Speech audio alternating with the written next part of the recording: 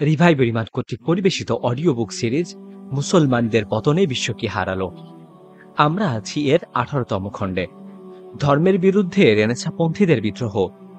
শেষ পর্যন্ত মুক্তিবুদ্ধি এবং প্রগতিবাদীদের ধৈর্যের বাদ ভেঙে গেল। তারা ধর্ম এবং প্রতিক্রিয়াশীল গোষ্ঠীর প্রতিনিধিদের বিরুদ্ধে বিদ্রোহের পতাকা উড্ডীন করল। তারা ধর্মীয় গোষ্ঠীর এই জুলুম, জোর এবং স্থবিরতা ও ইনকিজিশন বিভাগের ওইসব নিপীড়ন ও নির্যাতনের কারণে এমন নাখোশ বিক্ষুব্ধ হলো যে ওই সমস্ত ধর্মীয় মহল বলে পরিচিত আকিদা, বিশ্বাস, ইলম ও আদব আখলাক সম্পর্কে তাদের মনে ঘৃণার সঞ্চার হলো। আর তাদের মনে প্রথম দিকে খ্রিস্ট ধর্মের বিরুদ্ধে, তারপর ক্রমান্বয়ে সাধারণভাবে ধর্মের বিরুদ্ধের বৈরিতা সৃষ্টি হয়ে যায়। এবং যেই যুদ্ধ প্রথম দিকে জ্ঞান বিজ্ঞান এবং বুদ্ধিভিত্তিক পতাকাবাহী ও খ্রিস্ট ধর্মের মূলত সেন্ট পলের ধর্মের প্রতিনিধিদের মাঝে ছিল, পরে তার ধর্ম মাত্রই ও জ্ঞান বিজ্ঞানের পারস্পরিক সংঘর্ষের রূপ ধারণ করে। প্রগতিবাদী ও মুক্তিবুদ্ধির পতাকাবাহীরা নিজে থেকে এই সিদ্ধান্ত নিল যে জ্ঞান, বিজ্ঞান ও ধর্ম একে অন্যের প্রতিপক্ষ এবং প্রতিদ্বন্দ্বী যা কখনোই এক হতে পারে না। এদের মধ্যে আর কখনো সন্ধি বা সমঝোতা হতে পারে না। এজন্য জ্ঞান, বিজ্ঞান ও বুদ্ধিবৃত্তির প্রতি বিশ্বস্ততা প্রমাণের নিমিত্ত প্রয়োজন হল ধর্মের দিক থেকে মুখ ফিরিয়ে নেওয়া। এদের সামনে যখন ধর্মের নাম উচ্চারিত হতো, তখন আকস্মিকভাবেই ধর্মীয় প্রতিনিধি এবং গির্জাধিপতি পুরোহিতদের লোমহর্ষক জুলুম নির্যাতনের ভয়াবহ ছবি তাদের চোখের জীবন্ত হয়ে ভেসে উঠত। ভেসে উঠত সেই সব নিরপরাধ জ্ঞানী, গুণী, বিজ্ঞানী এবং দার্শনিকদের ছবি, যারা অত্যন্ত নিষ্ঠুরভাবে এবং অসহায় অবস্থায় ওই সব জল্লাদদের হাতে যন্ত্রণাদায়ক মৃত্যুবরণ করেছিলেন। ধর্মীয় সম্প্রদায় এবং গোষ্ঠীর নামে তাদের চোখের সামনে ক্রোধ ব্যঞ্জক চেহারা, রুদ্র ও রুক্ষমূর্তি অগ্নিঝরা চোখ, সংকীর্ণ চেতা পাদ্রীদের স্থূল মস্তিষ্কই ভেসে উঠত। ফলে কেবল খ্রিস্ট ধর্মের বিরুদ্ধে না, সাধারণভাবে সকল ধর্মের প্রতি ভীত এবং ঘৃণা তাদের জীবনের মূল নীতি বানিয়ে নেয়। ভবিষ্যৎ বংশধরদের সামনেও তারা এই ঘৃণা এবং অবজ্ঞাকে উত্তরাধিকারী এবং পুঁজিরূপে রেখে যায়। বুদ্ধিজীবীদের তাড়াহুড়া ও পক্ষপাতমূলক গোড়ামি। এইসব প্রগতিবাদী বুদ্ধিজীবীদের ভিতরে এতটা ধৈর্য, ধীর স্থির মাথায় অধ্যয়ন ও গভীর চিন্তা ভাবনা করার শক্তি ছিল না। ছিল না আবিষ্কার ও অনুসন্ধানের সামর্থ্য ও যোগ্যতা যে তারা প্রকৃত ধর্ম এবং এর প্রতিনিধিদের মেকি দাবিদারদের মধ্যে পার্থক্য করবে এবং অনুধাবন করতে পারবে। এসব ঘটনায় আসলে ধর্ম কতটা দায়ী ছিল আর কতটা গির্জার পাদ্রী পুরোহিতদের মূর্খতা মূলতা জোর জবরদস্তি ও ভ্রান্ত প্রতিনিধিত্ব। যদি দ্বিতীয় দল এর জন্য দায়ী হন মূলত তারাই সকল অঘটনের জন্য দায়ী ছিল। তাহলে এর জন্য ধর্মকে আসামির কাঠগড়ায় দাঁড় করানো, তাকে শাস্তি দেওয়া এবং তার সঙ্গে সম্পর্ক ছিন্ন করা কতটা সুবিবেচনা প্রসূত। কিন্তু ক্রোধ, ধর্মের অনুসারীদের সঙ্গে শত্রুতা ও তাড়াহুড়ো প্রিয়তা এ বিষয়ে ঠান্ডা মাথায় ভেবে দেখার অবকাশ তাদের দেয়নি। যেমনটি সাধারণ বিদ্রোহ এবং বিক্ষোভ প্রদর্শনের সময় হয়ে থাকে। তারা ধর্মের প্রতি কোনরূপ নমনীয়তা প্রদর্শন কিংবা সমঝোতা পছন্দ করেনি। তাদের মধ্যে সত্যের প্রতি এতটুকু আগ্রহ, আপন জাতির কল্যাণ কামনা এবং উদার মনোভাব ছিল না। ছিল না এমন মন মানসিকতা যে, তারা ইসলাম ধর্ম সম্পর্কে অধ্যয়ন করবে, যা ছিল তাদের সমসাময়িক বহু জাতির ধর্ম এবং যা খুবই সহজভাবে এই দ্বন্দ্ব সংঘাত এবং ধর্ম ও বুদ্ধিবৃত্তির মধ্যকার এই অপ্রয়োজনীয় সংঘর্ষের হাত থেকে মুক্তি দিত, যা যুক্তিগ্রাহ ও ভালো কিছুর দাবি করত, অযৌক্তিক এবং অপছন্দনীয় বিষয় থেকে বাধা দিত। দুনিয়ার ক্ষতিকর নয়, এমন নির্দোষ বিনোদন এবং উপকারী জিনিসের ব্যাপারে তাদের অনুমতি দিত। ক্ষতিকর এবং ঘৃণ্য বিষয়গুলোকে নিষিদ্ধ হিসেবে অভিহিত করত এবং অহেতুক শেকল এবং পায়ের বেড়িগুলো কেটে দিত, যা বিকৃত ধর্মগুলো এবং জোর জবরদস্তিকারী ধর্মানুসারী এবং ক্ষমতাসীন লোকেরা চাপিয়ে রেখেছিল। যে তাদেরকে সৎ কাজের নির্দেশ দেয় এবং অসৎ কাজে বাধা দেয়, সে তাদের জন্য পবিত্র বস্তু হালাল করে এবং অপবিত্র বস্তু হারাম করে এবং যে মুক্ত করে তাদেরকে তাদের গুরুভার থেকে ও শৃঙ্খল থেকে যা তাদের উপরে ছিল। সোরা অফ একশো সাতান্ন। কিন্তু ক্রুসেড যুদ্ধের ফলশ্রুতিতে সৃষ্ট অনুদার সম্প্রদায় প্রীতি, গোড়ামি এবং খ্রিস্টান ও পাশ্চাত্য মুসলিম প্রাচ্যের মাঝে সৃষ্ট সেই সব বিভেদের প্রাচীরের কারণে সাথে সাথে গির্জাধিপতি, পাদ্রী এবং পুরোহিতদের ইসলাম এবং ইসলামের পয়গম্বরদের বিরুদ্ধে অপপ্রচার, অধিকন্তু অধ্যয়ন এবং অনুসন্ধানের শ্রম স্বীকার না করা এবং মৃত্যু পরবর্তী জীবন এবং পরলৌকিক মুক্তির ব্যাপারে বেপরোয়া এবং নিশ্চিন্ত হবার কারণে তারা ইসলামের প্রতি আদৌ কোনো দৃষ্টিপাত করেনি। এই ব্যাপারে স্বয়ং মুসলিমদের প্রয়োজনীয় তাবলিগি মানসিকতার অভাব এবং অলসতাও ছিল। তারা কয়েক শত বছর ইউরোপের মতো একটি গুরুত্বপূর্ণ মহাদেশে ইসলামের প্রচার, প্রসার এবং আদিবাসীদেরকে ইসলামের সঙ্গে পরিচয় করিয়ে দেবার প্রতি মনোনিবেশ করেনি। অথচ ইসলামী হুকুমতের উত্থান এবং ইউরোপের বিভিন্ন সাম্রাজ্যের সঙ্গে সমকালীন এবং সমতাসূচক সম্পর্ক থাকার দারুণ এর পুরো সুযোগ ছিল। মোটের উপর, ইউরোপের লোকেরা এরকম নানা মুহূর্তে ইসলামের নেতৃত্ব এবং দিক নির্দেশনা থেকে বঞ্চিত থাকে। ইউরোপের বস্তুবাদ সে যাই হোক, যা আকাঙ্ক্ষা করা গিয়েছিল, অবশেষে তাই ঘটল। ইউরোপের বস্তুবাদের দিকে পুরোপুরি ঝুঁকে পড়ল।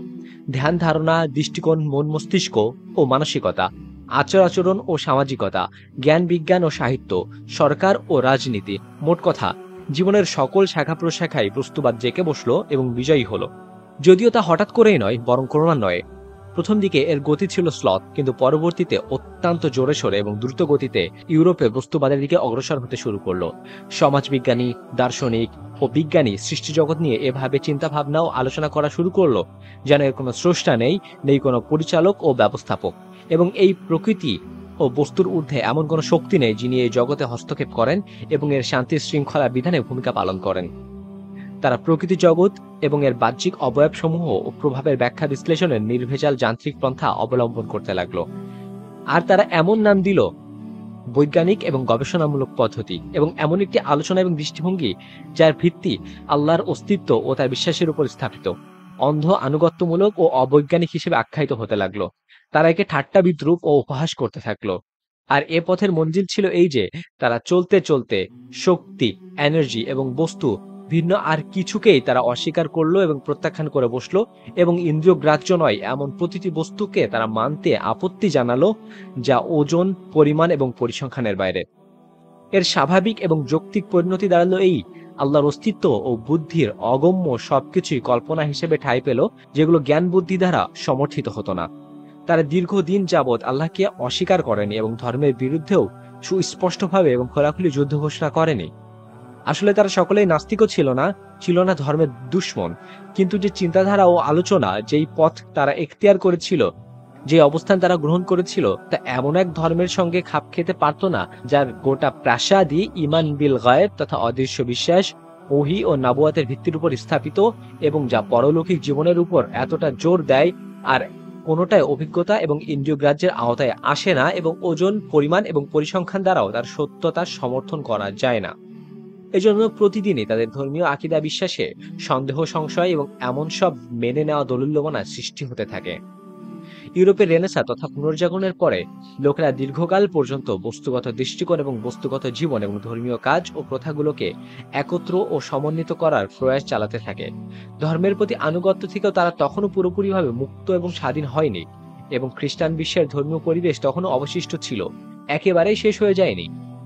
নৈতিক এবং সামাজিক স্বার্থের দাবিও ছিল যে নামকা অবস্থে হলো ধর্মীয় ব্যবস্থা অবশ্যই টিকিয়ে রাখতে হবে এবং তা থাকা দরকারও বটে, যা জাতির লোকেদের মধ্যে সেতুবন্ধন হিসেবে কাজ করবে এবং দেশের সামাজিক বিশৃঙ্খলা ও নৈতিক অরাজকতার হাত থেকে রক্ষা করবে।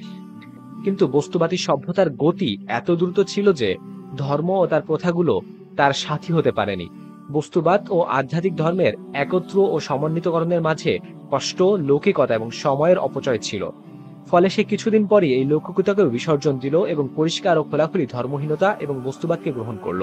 ঠিক এ যুগেই ইউরোপের প্রতিটি দেশ এবং প্রতিটি অঞ্চলে এক বিপুল সংখ্যক এমন সব লেখক, সাহিত্যিক, সমাজ এবং রাষ্ট্রবিজ্ঞানী জন্মগ্রহণ করেন, যারা বস্তুবাদের সিংগায় ফু দিলেন এবং দেশের জনগণের মন মস্তিষ্কে বস্তুবাদ পূজার বীজ বপন করলেন। নীতিশাস্ত্রবিদ এবং নীতিনৈতিকতার বস্তুবাদী ব্যাখ্যা দান করতেন।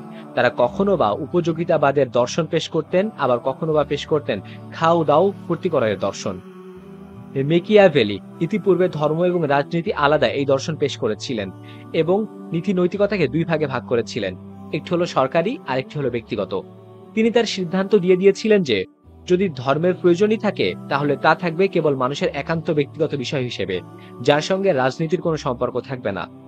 রাষ্ট্র থাকবে সবকিছুর ঊর্ধ্বে, সবকিছুর মোকাবেলায় তার থাকবে অগ্রাধিকার। যে সবকিছুর থেকে অধিক মূল্যবান হিসেবে বিবেচিত হবে। খ্রিস্ট ধর্মের সম্পর্কে থাকবে কেবল অপার্থিব তথা পরলৌকিক জীবনের সঙ্গে। আমাদের এই পার্থিব এবং জাগতিক জীবনের সঙ্গে এর কোনো সম্পর্ক নেই। ধর্মভীরু এবং সৎ লোকের কোনো প্রয়োজন রাষ্ট্রের নেই এবং কোনো উপকারিতাও এর নেই। এজন্য যে তারা হয় ধর্ম এবং ধর্মীয় বিধিবিধানের অনুসারী এবং আনুগত্য এবং তারা প্রয়োজনে নৈতিক নীতিমালা ও ঔচিত্যবোধকে উপেক্ষা করতে পারে না।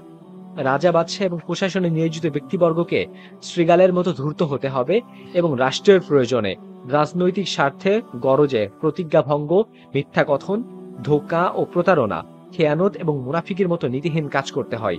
এ ব্যাপারে তাকে দ্বিধান্বিত হলে চলে না, হওয়া উচিত না। মেকিভিয়ালের এই আহ্বান পুরোপুরি কার্যকরভাবে সফল হলো। ভৌগোলিক জাতীয়তাবাদী দর্শন যা প্রাচীন ধর্মের স্থান দখল করেছিল, এই মতবাদকে পুরোপুরি সহায়তা প্রদান করে। লেখক, সাহিত্যিক, বুদ্ধিজীবীরা তাদের জাদুকরী বক্তৃতা, লেখনী ও সম্মোহনী সৃষ্টিকারী বাগ্মিতা ও কাব্যের মাধ্যমে প্রাচীন নীতি নৈতিকতা ও সামাজিক বিধি ব্যবস্থার বিরুদ্ধে সমগ্র দেশে এক বিদ্রোহ সৃষ্টি করে। তারা অন্যায় এবং পাপকে মনজ্ঞ এবং চিত্তাকর্ষক বানিয়ে পেশ করে। মানুষ্য প্রকৃতি এবং মানবীয় স্বভাবকে সর্বপ্রকার বন্ধন থেকে মুক্ত এবং মানুষকে তার দায়িত্ব, কর্তব্য জবাবদিহিতার হাত থেকে স্বাধীন তথা একেবারেই বলগাহীন ও বাধা বন্ধহীন মুক্ত বিহঙ্গ হবার প্রচার প্রপাগান্ডা চালায়। জীবনের মজা লুটবার প্রবৃত্তিজাত কামনা বাসনার যাবতীয় চাহিদা পূর্ণ, পরিতৃপ্ত ও ভোগ বিলাসের প্রকাশ্যে আহ্বান জানায় এবং এই জীবনের মূল্যায়ন বিরাট বাড়াবাড়ি এবং অতিরঞ্জনের সহায়তা নেয় এবং নগদে যা পাও হাত পেতে নাও। বাকির খাতা শূন্য থাক। এর দর্শন মাফিক, নগদ প্রাপ্তি এবং বাহ্যিক ও ঐতিহ্য ইন্দ্রিয় গ্রাহ্য বস্তুগত স্বার্থবেধি রেখে আর সবকিছুকেই প্রত্যাখ্যান ও উপেক্ষা করে। বিশ্বের নেতৃত্বের আসনে পাশ্চাত্য জগৎ ও তার ফলাফল। আর এভাবেই ঊনবিংশ এবং বিংশ শতাব্দীর পাশ্চাত্য জীবনের প্রতিমা পূজারী গ্রিস এবং রোমের জাহেলি জিন্দেগির প্রতিচ্ছবিতে পরিণত হয়। এ ছিল যেন তার নতুন সংস্করণ যা ঊনবিংশ শতাব্দীতে নতুনভাবে সযত্ন প্রয়াস সহকারে তৈরি করা হয়েছিল। গ্রিক ও রোমান সভ্যতার সেসব ছবি প্রাচ্য খ্রিস্ট ধর্ম হালকা ও ফিকে করে দিয়েছিল। ঊনবিংশ শতাব্দীর চিত্রকরেরা তাকে পুনরায় উজ্জ্বল এবং প্রজ্জ্বল করে তোলে। এতে আশ্চর্য হবার কিছুই ছিল না। আজকের পশ্চিমা জাতিগুলো ওইসব গ্রিক, রোমান এবং পশ্চিমা জাতিগুলোরই সুযোগ্য উত্তরাধিকারী। বর্তমান পশ্চিমা সভ্যতা সংস্কৃতি এবং প্রাচীন গ্রিক ও রোমান সভ্যতা সংস্কৃতির মধ্যে নিকট সাদৃশ্য পাওয়া যায়। ইউরোপের বর্তমান ধর্মীয় জীবনেও আধ্যাত্মিকতা থেকে তেমনটি শূন্য ছিল, যেমনটি ছিল গ্রিকদের ধর্ম। এই দুর্বলতা ভয় ভক্তি মিশ্রিত বিনয় ও ধর্মীয় গাম্ভীর্যের ঘাটতি, জীবনে ক্রীড়া কৌতুক তথা খেল তামাশার আধিক্যের সেই একই সব অবস্থা যা গ্রিসে ছিল। এটা ছিল সেই সব প্রকৃতি বিজ্ঞানী ও দার্শনিকদের সেই দৃষ্টিভঙ্গি ও গবেষণার পরিণতি যা ইউরোপের পূর্ণ জনপ্রিয়তা এবং গ্রহণযোগ্যতা লাভ করে এবং তাই দিন ধর্মের স্থান দখল করে নেয়। ঠিক তেমনি আজ জীবনের কামনা বাসনা, ভোগের চাহিদা ও স্বাদ গ্রহণ দুনিয়ার বুকে অতৃপ্ত আকাঙ্ক্ষা পূরণের অবস্থাও ঠিক তাই যা সক্রেটিস তার যুগের গণতান্ত্রিক যুবকদেরকে বর্ণনা করেছেন। দার্শনিক প্লেটোর রিপাবলিক নামক গ্রন্থে। অধিকন্তু, ধর্মীয় সংশয়, সন্দেহ দ্বিধা সংকোচ ধর্মীয় আইন কানুন ও শৃঙ্খলা, ধর্মীয় দায়িত্ব কর্তব্য এবং প্রথাসমূহের অমর্যাদা করার ক্ষেত্রেও আজকের ইউরোপের, গ্রিক ও রোমের থেকে মোটেও পিছিয়ে নেই। খ্রিস্ট ধর্ম অথবা বস্তুবাদ। বাস্তব সত্য হল, আজকের ইউরোপ আত্মা ও মননকে নিয়ন্ত্রণকারী যে ধর্ম তা খ্রিস্টান ধর্ম নয়, বরং বস্তুবাদ এবং বস্তু পূজা এবং পাশ্চাত্য জীবনধারা থেকে তার প্রতিটি পদক্ষেপ এর সত্যতা সমর্থিত হয়। ইসলাম এট দ্য ক্রস রোডের লেখক বলেন no doubt there are still many individuals in the West who feel and think in a religious way and make the most disparity for to reconcile their belief with the spirit of their civilisation but they are exceptions only the average occidental be he a democrat or a fascist a capitalist or a Bolshevik, a manual worker or an intellectual, knows only one positive religion, and that is the worship of material progress. The belief that there is no other goal in life than to make life continuously easier, or as the current expression goes, independence of nature.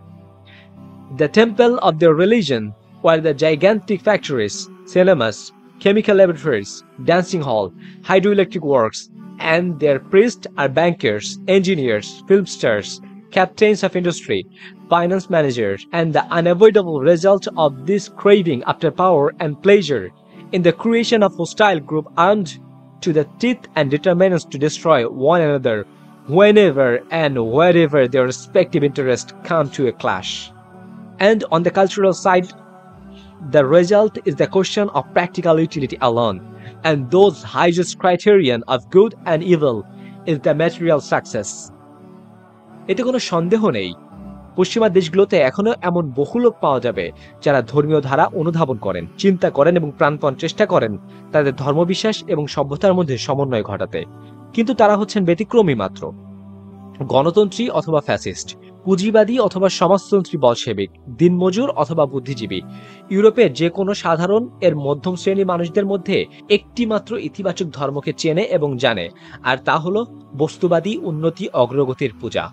তার বিশ্বাস এবং জীবনকে ক্রমাগত মুক্ত, বাধাবন্ধহীন এবং সহস্তর করে তোলা ব্যতিরেকে জীবনে আর কোনো লক্ষ্য নেই অথবা চলতি কথাই প্রকৃতি নিরপেক্ষ হওয়াই তাদের ধর্ম। বিরাট বিরাট কারখানা সিনেমা, রাসায়নিক গবেষণাগার, নাচঘর তথা নৃত্যকলা ভবন, পানি বিদ্যুৎ ইঞ্জিনিয়ার, অভিনেতা, অভিনেত্রী, শিল্পপতি এবং অর্থবিত্তের অধিকারী, কৃতবিদ্য পুরুষ। ক্ষমতা ও আনন্দের এই নেশায় অপরিহার্য পরিণাম হয়েছে, যেখানে সেখানে স্বার্থের সংঘাত উদ্ভূত সশস্ত্র দ্বন্দ্ব এবং সংঘাত। আর সাংস্কৃতিক ক্ষেত্রে এর ফল হচ্ছে এমন এক ধরনের মানুষ সৃষ্টি যাদের নীতিবোধ নিচক, উপযোগবাদের প্রশ্নে সীমাবদ্ধ এবং যার ভালো মন্দের সর্বোচ্চ মাপকাঠি হচ্ছে একমাত্র বস্তুবাদী সাফল্য এবং কামিয়াবি। উক্ত লেখক আরও বলেন, পশ্চিমা সভ্যতা স্পষ্ট ভাষায় প্রবলভাবে আল্লাহর অস্তিত্ব অস্বীকার করে না, কিন্তু প্রকৃত সত্য হলো তার বুদ্ধিভিত্তিক সংক্রান্ত ধারায় আল্লাহর কোনো স্থান নেই। আর তার কোনো প্রয়োজন সেখানে তার অনুভব করে না। লন্ডন ভার্সিটির দর্শন এবং মনস্তন্ত্র বিভাগের প্রাক্তন chairman professor C E M Joad guide to the modern weekend নামক গ্রন্থে তার ব্যক্তিগত অভিজ্ঞতা বর্ণনা করতে গিয়ে বলেন, আমি সম্প্রতি কুড়ি জন ছাত্রছাত্রীর একটি তরুণ দলকে, যাদের সকলের বয়স বিশের থেকে বেশিই হবে, জিজ্ঞেস করেছিলাম, তাদের মধ্যে কতজন যে কোনো অর্থে খ্রিস্টান? কেবল তিনজন এই প্রশ্নের ইতিবাচক উত্তর দিলেন এবং তারা যে খ্রিস্টান তা স্বীকার করল। সাতজন ছাত্রছাত্রী বলল, তারা এই ব্যাপারে কখনো ভেবে দেখেনি। বাকি দশজন পরিষ্কারভাবে বলল, তারা খোলাখুলি খ্রিস্ট ধর্মের বিরোধী। আমার ধারণা, খ্রিস্ট ধর্ম যারা মানে আর যারা মানে না, তাদের এই আনুপাতিক হার এ দেশে কোনো ব্যতিক্রমী ও অস্বাভাবিক উদাহরণ নয়। তবে হ্যাঁ এই প্রশ্ন যদি আজ থেকে পঞ্চাশ বছর কিংবা অন্যান্য বিশ বছর আগে করা হতো, তবে এর উত্তর অনিবার্যভাবেই প্রদত্ত উত্তর থেকে ভিন্নতর হতো। এরই উপর ভিত্তি করে বলা যায়, খুব কম সংখ্যক লোকই আছে যারা ক্যানন বেরিয়ের মতো ধারণার সাথে একমত হবেন। এক বিরাট খ্রিস্টীয় পুনর্জাগরণ এবং উন্নতি বর্তমান পৃথিবীকে মুক্তি দিতে পারে। আমার মতে তার এই দাবিকে যথার্থ প্রমাণ করার মতো কোনো জিনিস নেই। তবে হ্যাঁ এটা ভিন্ন কথা, এটা তার আন্তরিক কামনা। এমন বহু হয় যে কামনা ধারণা সৃষ্টি করে দেয়, কিন্তু তার দলিল প্রমাণ সৃষ্টি করতে পারে না। এদেশের অবস্থা এবং লক্ষণাদি পরিষ্কার বলে দিচ্ছে, খ্রিস্টান গির্জাগুলো আগামী শতাব্দীতে তাদের আয়ুষ্কাল পূর্ণ করবে। একটি দৈনিক পত্রিকার নিম্নোক্ত উদ্ধৃতি থেকে এর সমর্থন মিলবে। সাতাশ বছর বৃদ্ধ এমন এক পদ্ধতি আবিষ্কার করেছে যদ্বারা সে পবিত্র বাইবেলের পুরনো কপিগুলোকে বন্দুকের বাট, কৃত্রিম রেশম, গাট্টা, পর্চা ও টাকার নোটে রূপান্তরিত করতে পারবে। এই মেশিন সে কার্ডিফ ফ্যাক্টরি ও আটটি অপরপর কারখানা স্থাপন করেছে এবং বাইবেলের কপি থেকে যুদ্ধের আধুনিক সাজ সরঞ্জাম তৈরি হচ্ছে। আবিষ্কারক এই মেশিনের সাহায্যে বিপুল সম্পদ বানিয়েছে। অতএব, হে লোক সকল যাদেরকে আল্লাহ কান দিয়েছে, তারা শুনে নাও। বৃত্ত পূজা এই লেখক তার ফিলোসফি অফ আওয়ার টাইমস নামক অপর এক গ্রন্থে বলেন, শতাব্দীর পর শতাব্দী ধরে ইংল্যান্ডের কল্পনা এবং ধ্যান ধারণা কি করে বিত্ত সম্পদ লাভ করা যায় এটাই জেগে বসে আছে। সম্পদ লাভের উদগ্র আকাঙ্ক্ষা গত দুই শতাব্দী যাবৎ অন্যান্য সকল কর্মপ্রয়াস এবং কর্মপ্রচেষ্টার উপর বেশি করে কাজ করে যাচ্ছে। কেননা, সম্পদ মালিকানা লাভের মাধ্যমে এবং ব্যক্তিগত মালিকানার প্রাচুর্য, দীপ্তি ও মাহাত্ম দায় মানুষের যোগ্যতা ও উপযুক্ততার পরিমাপ করা হয়ে থাকে। রাজনীতি, শিল্প সংস্কৃতি, সিনেমা, রেডিও, কখনো কখনো গির্জার মেম্বর থেকে বছরের পর বছর পাঠক এবং শ্রোতাদেরকে এই শিক্ষায় প্রদান করা হয়েছে। সভ্য জাতি তারাই যাদের মধ্যে লাভ এবং অর্জনের প্রেরণা চরমভাবে উন্নতি করেছে। এই বৃত্ত পূজা আমাদের আকিদা বিশ্বাসের সঙ্গে সাংঘর্ষিক। কেননা, ধর্ম এই বিশ্বাস এবং প্রতীতি দান করে যে দারিদ্র ভালো এবং ধনাঢ্যটা কেবল খারাপ নয়, বরং ধনীদের পক্ষে সৎ হবার সম্ভাবনা এতটাই কম, গরিবদের পক্ষে যতটা বেশি। যদিও বুদ্ধিমত্তা এবং বিচক্ষণতার দাবি এবং ধর্মীয় শিক্ষা যুগপৎভাবে এটাই শেখায়, খোদা পরস্তি এবং জান্নাত লাভ দারিদ্রদের পক্ষেই সম্ভব। তথাপি লোকে ধর্মের শিক্ষাকে সত্য মনে করে, সে মতে কাজ করবার কোনো প্রকার আগ্রহ জাহির করেনি। বর্তমান বিত্ত সম্পদ এবং অর্জনকে স্থায়ী পারলৌকিক শান্তি লাভের উপর সন্তুষ্ট চিত্তেই অগ্রাধিকার দিচ্ছে। সম্ভবত তাদের এই ধারণা যে বিছানায় পড়ে মারা যাবার আগে মৃত্যু সজ্জায় তওবা করলে তারা পরকালে এতটাই লাভবান হতে পারবে যতটা লাভবান তারা এই পার্থিব জগতের সম্পদ ভাণ্ডার তথা ব্যাংক ব্যালেন্স থেকে হয়েছে। তাদেরকে এই ধারণা স্যামুয়েল বাটলার তার পুস্তকে এভাবে প্রকাশ করেন। দুষ্ট প্রকৃতির লেখকেরা বলেন, আমরা খোদা এবং সম্পদকে একই সাথে পূজা করতে পারি না। আমরা এই কথা মেনে নিলাম যে এটা সহজসাধ্য নয়, কিন্তু অর্জনযোগ্য জিনিস কবেই বা সহজলভ্য? আমাদের নীতি যাই হোক না কেন, ঘটনা হলো, মুখে আমরা যাই বলি না কেন, কাজের বেলায় আমরা সকলে বাটলারের পাক্কা অনুসারী। আমরা বিত্ত সম্পদে এতটাই ভক্ত, অনুরক্ত এবং আমাদের এই বদ্ধমূল বিশ্বাস যে সম্পদই ব্যক্তি এবং সাম্রাজ্যের মর্যাদা বৃদ্ধির কারণ হিসেবে দেখা দেয়। এতটাই দৃঢ়ভাবে মনের গহিনে প্রথিত যে এর দ্বারা জগতের দুটো উৎসাহকে নীতি এবং তত্ত্ব প্রতিষ্ঠা করা হয়েছে, যা বিরাট ঐতিহাসিক গুরুত্বের অধিকারী। এর একটি হল, লেসেস পেয়ার তথা অর্থনৈতিক ক্ষেত্রে অবাধ স্বাধীনতার নীতি, অর্থাৎ অর্থনৈতিক ক্ষেত্রে হস্তক্ষেপ না করার নীতি, যা ঊনবিংশ শতাব্দী জুড়ে জেকে বসেছিল। এই নীতির দাবি হলো, মানুষ সব সময় নিজের কাজকে অধিক থেকে অধিকতর আর্থিক মুনাফার উপর সীমাবদ্ধ এবং পরিবেষ্টিত রাখে। যেন তারা ভোগের ধর্মই হলো, কাজের প্রেরণাদায়ক শক্তি দিল আবেগ উদ্দীপনা নয়, বরং সম্পদ আহরণের নেশা। দ্বিতীয় মূলনীতি হল, যা বিংশ শতাব্দীর বিশ্বের সর্বত্র জেকে বসতে দেখা যাচ্ছে, আর তা হলো কার্ল মার্কসের the theory of economic determinism এই নীতি বা তথ্য বলে মানুষের অর্থনৈতিক অবস্থা সর্বদাই তার আর্থিক এবং প্রয়োজনীয়তার উপর নির্ভরশীল, এবং এই ব্যবস্থা তার সাহিত্য, নীতি ব্যবহার শাস্ত্র ধর্ম, যুক্তিবিদ্যা, অধিকন্তু রাষ্ট্র ব্যবস্থার স্রষ্টা হয়ে থাকে। এই দুই নীতির গ্রহণযোগ্যতার সীমাবদ্ধতা এবং সেই মূল্যবোধের উপর যা আমাদের পূর্বপুরুষ এবং মহিলারা স্পষ্টতরভাবে সম্পদের ব্যক্তিগত এবং রাজনৈতিক সৌন্দর্য মানের উপর রাখে। এই গ্রন্থের অপর স্থানে তিনি বলেন, যেই জীবন দৃষ্টি এই যুগের উপর জেকে বসে আছে, তা হলো অর্থনৈতিক দৃষ্টিভঙ্গি। আর সকল সমস্যাও ও সমাধানের ব্যাপারটাকে পেট এবং পকেটের দৃষ্টিকোণ থেকে দেখা এবং পরীক্ষা নিরীক্ষা করা। মিস্টার জন গুন্থার নামক বিশিষ্ট আমেরিকান সাংবাদিক ইনসাইড ইউরোপ নামক পুস্তকে এই বৃত্ত পূজা নিম্নোক্তভাবে আলোচনা করেছেন। ইংরেজরা সপ্তাহে ছয় দিন ব্যাংক অফ ইংল্যান্ডের পূজা করে, কেবল সপ্তম দিন তারা ব্রিটিশ গির্জার দিকে মুখ ফেরায়। আল্লাহ বিস্মৃতি ও আত্মবিস্মৃতি।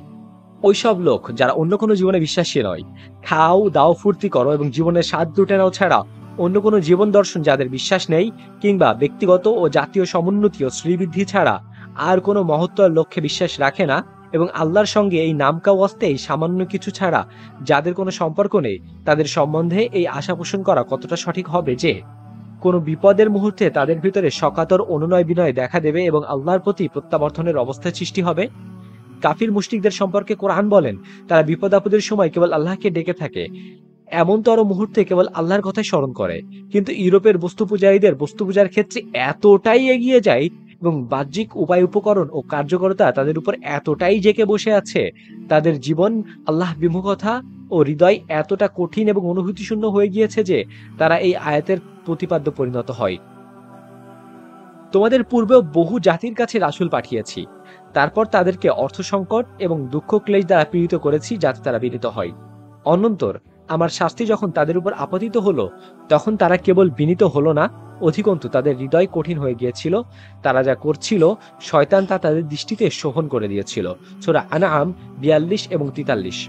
অন্য সুরায় আল্লাহ আরও বলেন, আমি ওদেরকে শাস্তি দ্বারা পাকড়াও করলাম, কিন্তু ওরা ওদের প্রতিপালকের প্রতি বিনীত হলো না এবং কাতরভাবেও প্রার্থনা করল না। সোরা মুমিনুন ছিহাত্তর অনন্তর, আপনি যুদ্ধের কঠিনতম মুহূর্তেও এবং সঙ্গীনতম সময়েও আল্লাহর প্রতি মনোনিবেশ, বিনীত অবস্থা, দিলের ভঙ্গুরতা, নমনীয়তা ও বান্দাসুলভ মানসিকতা তাদের ভেতর দেখতে পাবেন না। তেমনি জাতির আচর আচরণ, কার্যকলাপ ক্রীড়া কৌতুক ও হাসি তামাশার ভেতরেও আপনি কোনরূপ পার্থক্য দেখতে পাবেন না। পাশ্চাত্য দার্শনিক এবং চিন্তাশীল মহল, লেখক, কবি সাহিত্যিক, সাংবাদিক এবং নেতৃত্ব স্থানীয় ব্যক্তিবর্গ এ নিয়ে গর্ব করে থাকেন এবং একেই তারা মানসিক ধৈর্য দৃঢ়তা এবং প্রশংসনীয় মনোবল এবং জাতীয় মর্যাদাবোধ বলে অভিহিত করে থাকেন। প্রাচ্যের আল্লাহ পূজারী এবং মুসলিমদের দৃষ্টিকোণ থেকে এটা হৃদয়হীনতা, গাফিলতি ক্রীড়া কৌতুকে মেতে থাকা, সংজ্ঞাহীনতা ও আত্মবিস্মৃতি বই কিছুই নয়। লন্ডনে একরাত শিরোনামে লন্ডনের বসবাসকারী জনৈক ভারতীয়, পরে পাকিস্তানি উনিশশো চল্লিশ থেকে একচল্লিশ সালে বিশ্বযুদ্ধকালীন বিমান হামলার সময়কার ঘটনা তার নিজের আত্মজীবনীতে এভাবে পেশ করেছেন।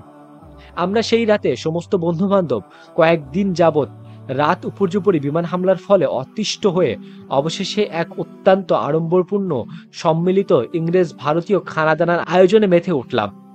গৃহকর্ত্রী যিনি ছিলেন, তিনি তার বাবরচিখানা ও তার যাবতীয় সামান আমাদেরকে সপর্দ করলেন এবং উপরতলার বড় কামরাটি নাচের জন্য খালি করে দিলেন।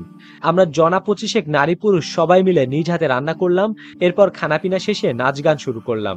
এমন সময় আকস্মাত বিমান হামলার বিপদ সংকেত হিসেবে সাইরেন বেজে উঠল। প্রথমে তো আমরা সবাই একদম নিশ্চুপ হয়ে গেলাম, কিন্তু আমাদের নাচ অব্যাহত রইল। এমত অবস্থায় একজন বলে উঠল, এখন কি করতে চাও? গো অন, চালিয়ে যাও। এই ছিল জনৈক মহিলার উত্তর। তারপর নাচ গান পূর্বের মতোই অব্যাহত রইল। আমরা নাচতে থাকলাম। আর আমাদের নাচ গান এবং অট্টহাসির শব্দে বাড়ি তো বাড়ি গোটা মহল্লায় কেঁপে উঠতে লাগল।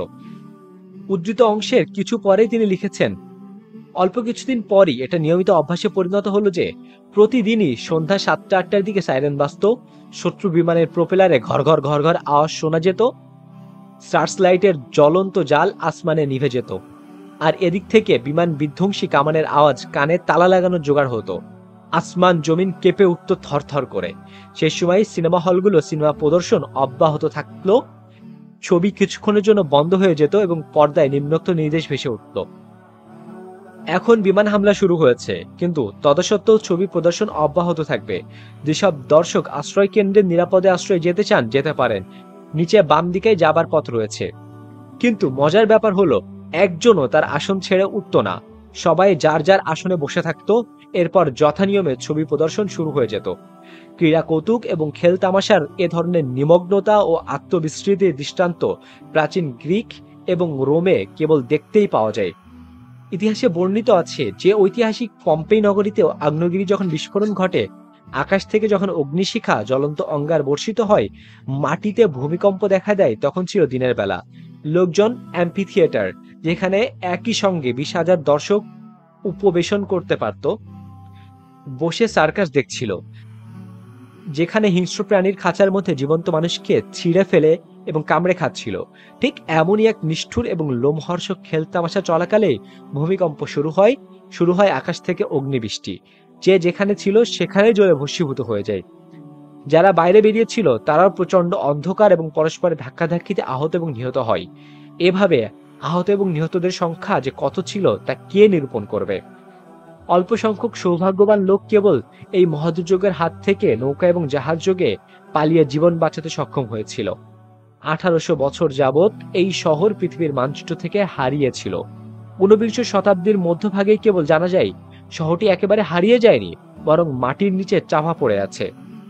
খনন কাজ শুরু হয় এবং কয়েক বছরের নিরন্তন চেষ্টার পর সবক হাসিলের উপকরণরূপী মিউজিয়াম হিসেবে অবিকল শহরটি গোটাটাই আবিষ্কৃত হয়। তবে কি জনপদের আদিবাসীরা ভয় রাখে না যে আমার শাস্তি তাদের উপর আসবে পূর্বাহ্নে যখন তারা থাকবে ক্রীড়ারত? সুরা আল আরফ আটানব্বই। আল্লাহর পূজারী, আল্লাহর পরিচয় সম্পর্কে যারা অবহিত তাদের কর্মপন্থা, জীবনধারা, চরিত্র, ব্যবহার যুদ্ধ বিগ্রহ বিপদ মুহূর্তে উপরিক্ত কর্মপন্থায় চাইতে কতটা ভিন্ন বিরোধী তার পরিমাণ কোরআন মাজিদের নিম্নোক্ত আয়াতের সঙ্গেও করা যেতে পারে। হে মুমিনগণ, তোমরা যখন কোনো দলের মুখোমুখি হবে, তখন অবিচল থাকবে এবং আল্লাহকে বেশি বেশি স্মরণ করবে, যাতে করে তোমরা সফলকাম হতে পারো। সুরা আনফাল পঁয়তাল্লিশ। সাহেবে কেরাম রাজিউল্লাহ আনহু বলেন, যখনই কোনো সমস্যা সংকুলান এবং সংকটজনক পরিস্থিতি এসে দুপড়ত অমনি রাসুল আকরম সাল আলহি আসাল্লাম নামাজে দাঁড়িয়ে যেতেন। বদর যুদ্ধের সময় নবী করিম সাল আলহি আসাল্লাম কাতার সোজা করেন, সাহেবে কেরামকে কাফিরদের মোকাবেলায় দাঁড় করিয়ে দেন এবং নিজে তাবুতে গিয়ে আল্লাহর সামনে সিজদায় পড়ে গিয়ে মুনাজাত এবং ফরিয়াদ করতে শুরু করেন। এই সময় তিনি বলছিলেন, হে আল্লাহ, এই দলটি যদি আজ ধ্বংস হয়ে যায়, তাহলে দুনিয়ার বুকে তোমার ইবাদত বন্দেগী করার মতো আর কেউ থাকবে না। আর এখানে শেষ হচ্ছে এই পর্বটি। যারা এখনও পর্যন্ত আমাদের চ্যানেলটি সাবস্ক্রাইব করেননি, তারা আমাদের চ্যানেলটিকে সাবস্ক্রাইব করে দেন। আর ভিডিওটি ভালো লাগলে লাইক করতে ভুলবেন না এবং আপনাদের মূল্যবান মতামত আমাদের জানাতে কখনো ভুলবেন না। আপনাদের মতামতগুলো আমাদের কাছে অত্যন্ত মূল্যবান। দেখা হবে পরবর্তী এপিসোডে ইনশাআল্লাহ। ততদিন পর্যন্ত আল্লাহ আপনাদেরকে ভালো রাখুক। আসসালামু আলাইকুম ও রহমতুল্লাহ বারাকাতুহ।